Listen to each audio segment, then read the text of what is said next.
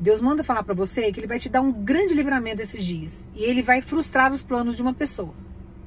Porque essa pessoa, ela quer te laçar em um casamento. Por que, que ela quer laçar você em um casamento que não é projetado por Deus? Porque ela é frustrada pelo fato de nunca ter casado. Só que você não tem culpa da frustração de alguém. E essa pessoa não foi projetada para sua vida. Então Deus manda falar para você: eu vou frustrar essa pessoa por esses dias. E essa frustração que ela carrega, eu vou tratar. Mas na sua vida, sabe, para te prejudicar, criar uma situação complicada, desviar você de um propósito, de um destino, ela não vai conseguir. Então toma posse desse livramento e deixa Deus agir. E Deus manda falar para você, o propósito maior dessa pessoa é exatamente isso. Ela escolheu você porque ela quer firmar uma aliança com você dentro de uma frustração que ela carrega. Não existe amor nisso, não existe propósito de Deus nisso. E isso é um perigo. Casamento não se brinca. Vida sentimental é muito séria, não dá para levar de qualquer jeito. E Deus manda falar para você, ela não vai jogar em cima da sua vida a frustração que ela carrega. Ela teve uma vida promíscua lá atrás, ela não casou porque ela era promíscua, ninguém queria. Foi a escolha que ela fez. Agora que está com uma certa idade, está mais velha, está frustrada por quê? Porque muita gente conseguiu o casamento e ela não. Mas ela não vai jogar responsabilidade de frustração de casamento que ela não conseguiu lá atrás nas suas costas. Então toma posse dessa palavra, desse livramento. Toma posse dessa palavra, desse livramento e deixa Deus tirar. Porque se você insistir nisso, você vai pagar o preço. Não existe amor, não existe cumplicidade, não existe, sabe, nem fidelidade nisso.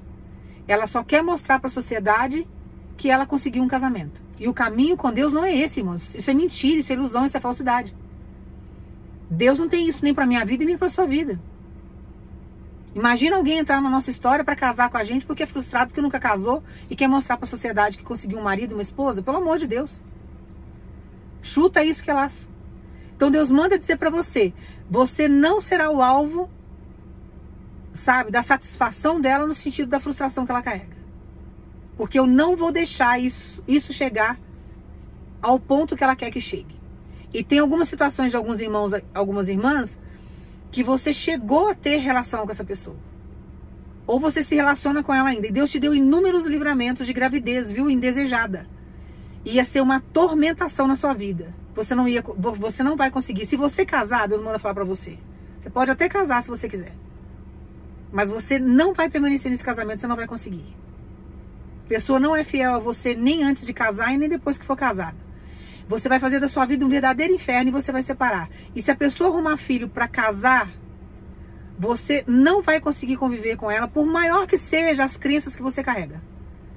Você tem, tem pessoas aqui que você tem crenças que te limitam, sabe? É coisas que a família colocou na sua cabeça que ah, deu a palavra, tem que ir até o final. É, o negócio está tudo errado, tudo torto, você não termina porque a família te ensinou que você tem que fazer isso. Você tem que honrar, é compromisso, você tem que ficar naquela moralidade, naquela falsa moralidade. Só que Deus manda dizer para você, dentro de uma desobediência você vai pagar o preço. Eu vou te dar livramento, como eu tenho te dado livramento de gravidez indesejada.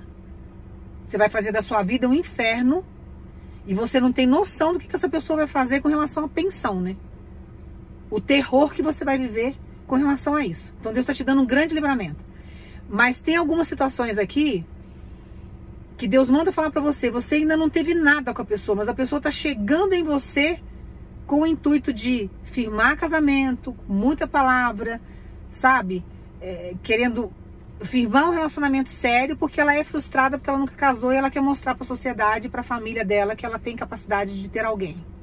O caminho não é esse, hein, irmãos. O caminho não é esse. A aliança é um contrato que você assina com alguém.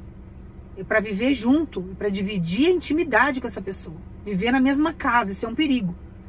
Então toma muito cuidado com isso, tá? E tem algumas situações aqui que você tem um relacionamento com essa pessoa. E Deus manda dizer para você, eu já tenho te dado livramento. Já era para ter se afastado, não era nem para ter ficado junto.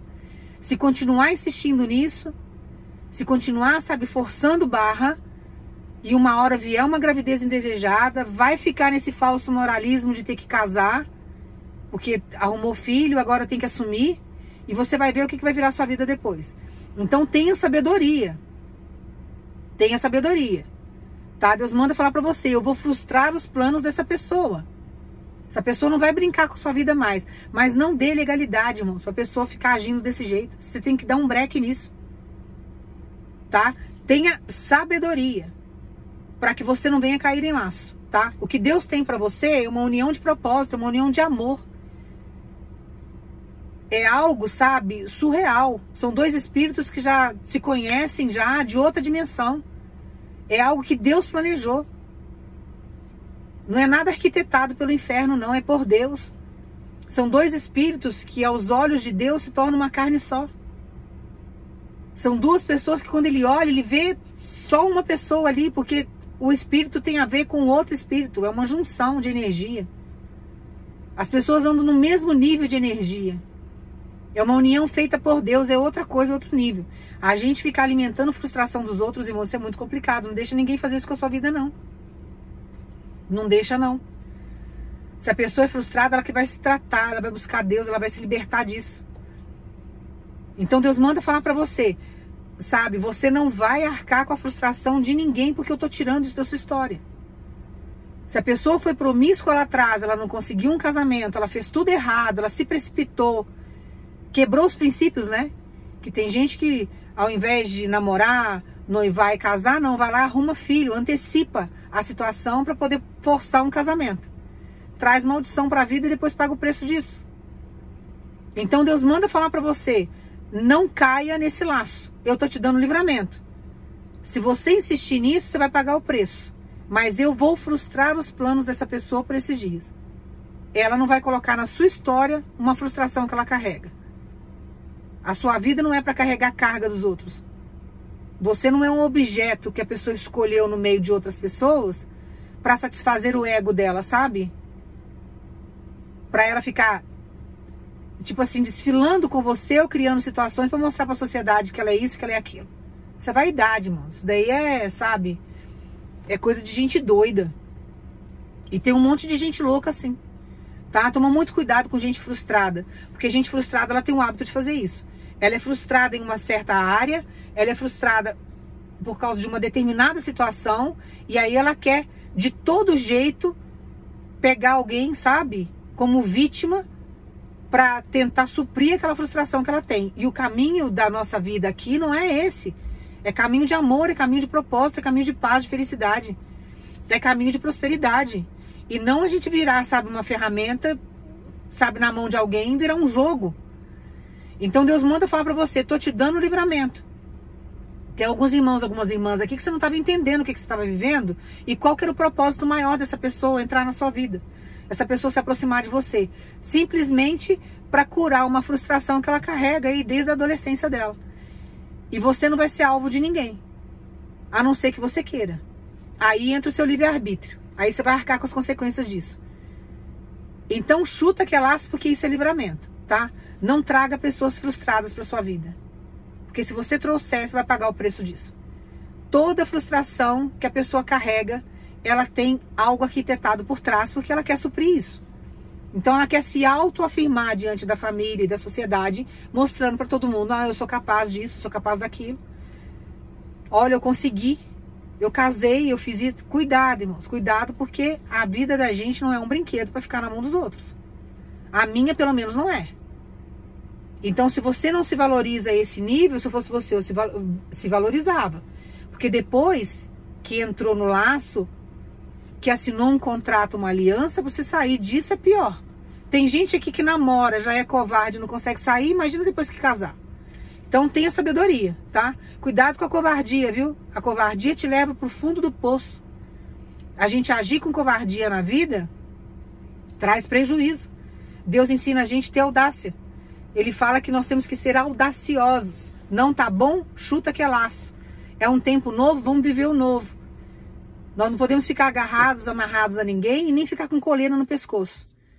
Ninguém pode escravizar a gente desse jeito. Então toma muito cuidado porque a covardia faz você perder inúmeras possibilidades na sua história. Depois você vai passar sua vida inteira frustrado, frustrado e infeliz e passando, sabe, inúmeras situações constrangedoras e sendo maltratado na mão de alguém que não ama você.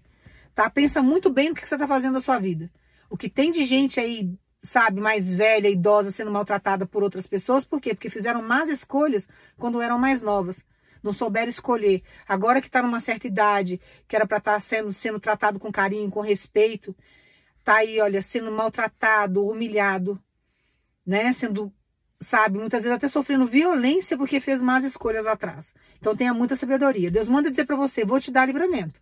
Mas se você pegar a prova com a mão, se você insistir nisso, não reclame com Deus e não fale que Deus não te avisou, tá? E chuta a gente frustrada, irmãos.